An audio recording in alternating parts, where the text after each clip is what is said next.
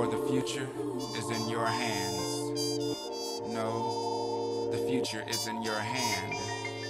Play with your own squishy.